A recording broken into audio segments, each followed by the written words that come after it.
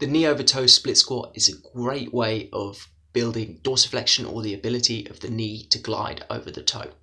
It's especially useful if you're struggling with ankle mobility and you've already uh, foam rolled your calves. It's also useful to prep for movements like pistol squats, dragon squats, or even step down lowers.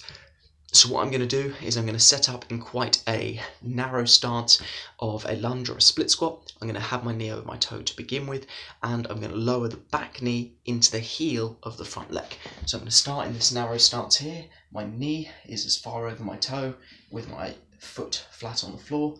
From this position, I'm going to deliberately lean forward, which is going to place more pressure on the mobility of this ankle and this quad here, and I'm going to slowly lower up it will look very awkward, but as I'm coming down, chest is coming forward, I'm coming down, three, two, one, and I can either gently rest there if it's difficult and come up, or I can string a few reps together.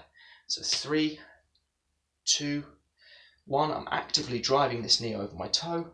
I'm making sure that as the knee comes over my toe, I'm making sure that my knee is not wobbling. I'm keeping it as in line as I possibly can. Nice and slow. The more I lean forward, the more I'm going to put emphasis on the quad muscles at the front.